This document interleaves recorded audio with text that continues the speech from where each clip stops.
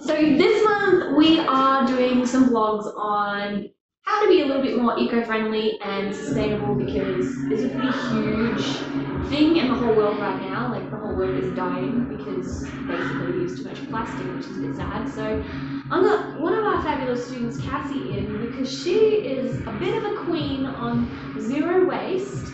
And I thought, how, how do we start? Cassie, what are your top tips for just getting started for people that haven't really thought about it yet? Get ready your bin liner. Bin liner. I think that would be my number one because as soon as you take out your bin liner, you go, what am I going to do with all the stuff that normally goes in my bin, right? So, you know, the let's call it the wet stuff. So, your, your meat off cuts, your fruit and veggie scraps, that kind of stuff. The stuff that makes the bin ew. Yeah. Um, compost. Compost, worm farms, it doesn't have to be hard. Bokashi bins, like if you literally had no back garden, no anything, you live in, say, a flat an apartment, a Bokashi bin is the way to go. What is that? Um, it's like a little tub like this. I don't have one, so I don't know all about them, but it works the same as a compost in that you put your kitchen waste in. Um, and I believe it needs some kind of formula, juice, some kind of thing that speeds up the um, decomposing process, and then you get compost out afterwards. Cool. Worm farms are also really great. People like love, love, love worm farms. They give you worm weed, they give you compost, and they give you kids as well. Um, and they're quite compact. You can get some that are just like this size. Um, I have a compost, and ever since I have my compost, our waste is next to nothing because everything goes in there. Um, you are supposed to be a little bit careful with things like onion and citrus. You're not supposed to put in there. Dairy and meat you're not supposed to put in there. Um, if I have like a little tiny piece of off cut of meat or cheese and just chuck it doesn't make that much difference. But you're not going to put you know the big massive fat rind in there, so you do have to be a little bit careful. Um, for those kinds of things, like if we're having a barbecue and we've got like meat leftovers, so it doesn't go stinky in the bin, I would wrap it in uh, newspaper and then chuck it in the bin. Or if you're a bit of a psycho like my mum, you can put it in the freezer until it's the night before bin day, and then so then again it doesn't stink, and then she chucks it in the bin like the night before in the morning when the bin going out. Um, so that would probably be the top one. The easiest ones are like you know your shopping bags, your veggie bags. Um, I go to this wonderful magical place called the Oasis Pantry. I absolutely adore it. Um, it's in Greenwood, there's one in Mundaring, Bassendean, but there's places like this popping up all over the place. Um, it's a bulk food shop where you take your own containers, you weigh them, you write the weight, and then you fill all your containers with all the different products. They've got cleaning products, beauty products, all your staple pantry stuff. Um, I have now moved from like every little thing is an achievement. So when I moved from buying red kidney beans in a tin to buying them dry and you know cooking up myself, I was like, I did a thing. um, so yeah, bringing less stuff into the house, whether, like whether it's plastic, paper, cardboard, metal, whatever it is, just reducing the amount shit you bring into your house. Literally shit. Yeah, I definitely need to get a compost. I've been wanting one for ages.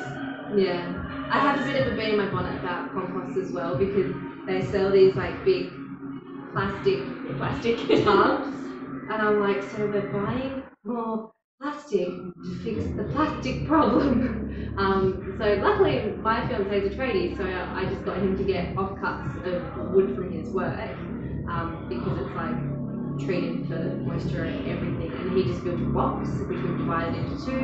One side gets all juicy and lovely and composty, um, while the other side has to fresh stuff into.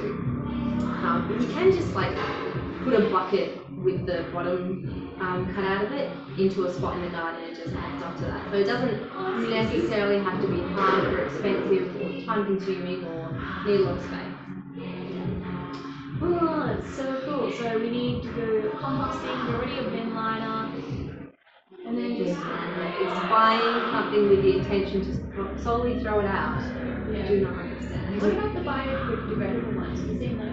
I have seen them. There's some that are plant based, which are great. Some of them See, there's not. It's a, quite a grey area between compostable, biodegradable. Um, Ah, yes. yeah, it might, might be biodegradable in you know in hundred years, but they can still say that it's biodegradable. Um, like there's I don't know the brand of the coffee, but it's a Melbourne-made um, company that they make compostable, um, biodegradable coffee pods. And I had a couple of them floating around my compost box for at least 12 months. Wow. Biodegradable, compostable. What else is an easy swap for, for, for women to do? Women in particular, because we mostly talk to women. And women seem to care more. Yeah, we do. Um, well, let's talk about the icky part of life. The thing that happens every month. Apparently, sanitary pads, tampons, everyone that has ever been made still out there somewhere in the wild world. They don't break down ever. Take like yeah, And they're still covered in mm, whatever you put on them. Yeah. Um, so number one, the best thing I have ever discovered, which I discovered right here at a Sweat or Sparkle um, Diamond Dance Open Day, the menstrual cup. Honestly, like the best thing that has ever happened for me, my body, and my period. It's like you don't even have your period. Stay in there for 12 hours. It doesn't leak. You don't feel it. You can literally do everything apart from with it in. and yeah, it's just amazing. And I reuse reusable um, like panty liners as well. Yeah. You know, either side where it's not heavy enough to use the cup. Um, people think they're a bit icky, but honestly, once you put them in the wash, you put them in your cold soak in the wash, they come out like so easy. Yeah. So I haven't had a period where I have thrown anything in the bin for a year, maybe more That's awesome. which is a lot of thank you. Um, it's a lot of waste. Yeah. Um, that you're saving. One other thing I wanted to mention about your composting was your garden is freaking amazing now. That's because compost is like crack for plants. It makes them Plant go, it makes them go nuts. I literally have to rip out pumpkin seedlings because pumpkins are growing like nobody's business in my garden. Anywhere I put compost, I get tomatoes and I get pumpkins. I have to rip them out. That's awesome. But I am going for pumpkins with the which I'm super proud of. I'm a pumpkin mum. you are a little pumpkin farmer. Yeah, I'm super proud of it. So lots of benefits to reducing your plastic, getting compost. I need to get onto that.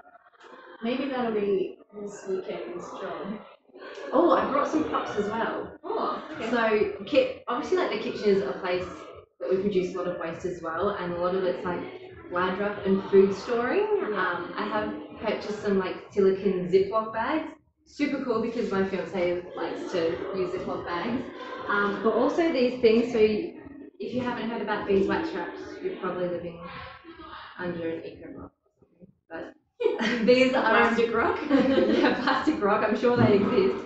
These are like the most amazing little things.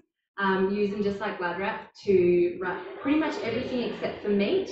Nothing that needs to be like sterilized with hot water because you can't put them in hot water. Um, so I cut apple, lemon, cheese, tomato, anything. You just wrap it up, and you're like, oh, it doesn't fit right. And then you just get the heat of your hand, and you mold it to any shape. Like. Oh, that's cute. And then you just pull it apart. So cool. They're supposed to last about 12 months, um, but I have actually successfully refreshed um, some of these, just like grating beeswax over it, and you put baking paper outside and um, iron it. This one has a few like cracks in it. I don't know if you can see on the camera there. Um, to fix that, there's nothing wrong with it. It just looks gross.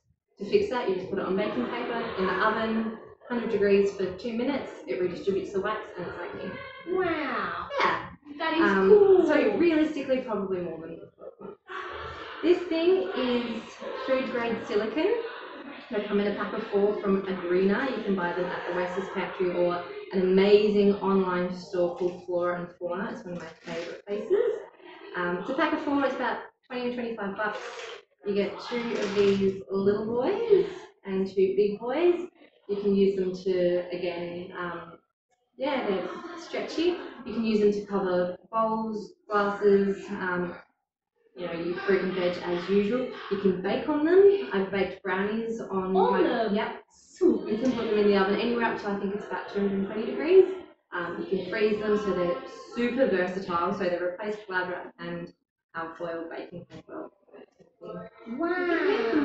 And then voila, we don't need glad wrap anymore. Good. So we got rid of glad wrap. We got rid of the bin liner. We've got crack for the plants. Uh, we can have a period into menstrual cups and the reusable panty liners. hmm And if you have to buy plastic or any kind of packaging because let's face it, it's inevitable, like it's going to happen. Even I go through a lot of plastic, you know, you, you crunchy plastic and that kind of stuff. I think the hardest thing is milk and meat. I'm going to try and do plastic free July, and that's the thing that I'm like brainstorming how can I get around this. Um, Make friends with your butcher. yeah, and that's it. You know, I've asked Woolies, you know, they won't get in my own containers, so you, you're going to have to do like, you know, the local small places, which is fine. It's good. It's support local. There is um, a brand called Grumpy Farmer. They do um, one litre milk glass bottles. You empty the bottle, you take it back to wherever you bought it, and they change it out. So that's my plan there. Um, but it, you know, if it does have to come into your house, the question is then, what do we do with it? Um, most hard plastics can be recycled. Um, I'm still asking questions about this, you know, because you've got your numbers one to six. Um, some people say, oh, this can't go in. The, I think most Chinese containers are fives. Um, but my lady at the Oasis Pantry shows me that all hard plastics can go in the recycling. The lids cannot. You put a bottle with a lid on it, Coke bottle, milk bottle, whatever, it's not going to get recycled, it's going to straight to landfill. And really, as sad as it makes me to, say this, the recycling bin is just delaying.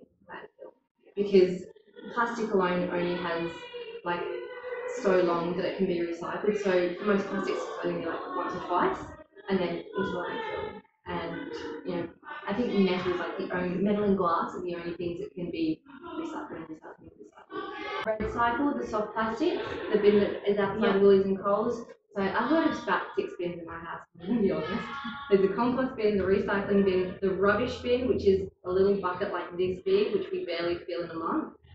Um, there's a little pouch for um, bottle lids that pumps out of like hand sanitizer pumps, um, hand soap, that kind of thing. There's a little pouch for um, alfoil because if you get an Easter egg wrapper and throw that in the recycling, yes, it's alfoil, so it can be recycled, but it's too small. So I collect it until I've got enough to make, you know, maybe like a fist size, then wrap it all up in one big bit that's already in there, and then in the recycling. So yeah, there's a lot of nitty gritty to it. Um, Yeah. But once you kind of got a system, I suppose it doesn't take too long. Exactly, yeah. And um, in August, we actually had guests. We had three of my fiance's cousins living in our house. And at the end of the week, the waste situation had not changed. There was no extra in the landfill bin. Everyone had put things where it should have been. It was so heartwarming for me. It's So cute. I know. I was like, make your house really so well. so yeah, we'll have them back. Brilliant. Um, and I just wanted to mention as well, we do have a blog up